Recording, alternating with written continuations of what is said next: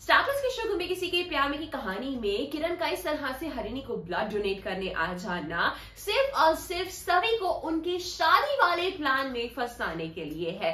जहाँ पर हम ये देखने वाले हैं कि बहुत जल्द ईशान और रीवा का वेडिंग डे आने वाला है। जी हाँ दी वेडिंग डे जिसके बारे में उन्होंने से सपने संजो कर रखे हैं। लेकिन एक्चुअली में, अब होने वाला है गुमे किसी के प्यार में की कहानी में कुछ ऐसा, जहाँ पर सुनने में आ रहा है फैंस की किरण फंसाने वाला है। सभी को एक ऐसे प्लान में, जहाँ पर किरण सभी से शादी तो करना चाहते हैं, और सभी किरण से इस शादी के लिए हाँ भी कहती नज़र आ सकती है। क्यों?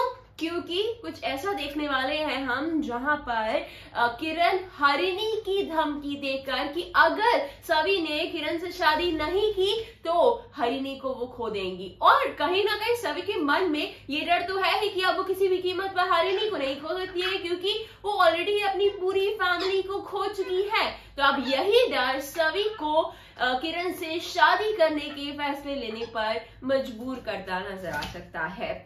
साथ ही साथ हम ये देखने वाले हैं फैंस कि जब ईशान और रीवा का दी वेडिंग डे होगा, वही एक्चुअली में वो दिन होने वाला है जहाँ पर एक दूसरी तरफ़ किरण की वाइफ बनने के लिए तैयार होंगी सब। पर देखने वाली बात ये होगी कि जिस तरह से समृद्धि के चंगुल से सभी को तो एटलीस्ट ईशान ने बाहर निकाला था, इस बार किरण के चंगुल से कैसे बाहर निकालती है और ऐसा वो कौन सा मौका आता है जब ईशान सभी को अपनी वाइफ बनाकर घोसले हाउस ले आएँगे जाने के लिए।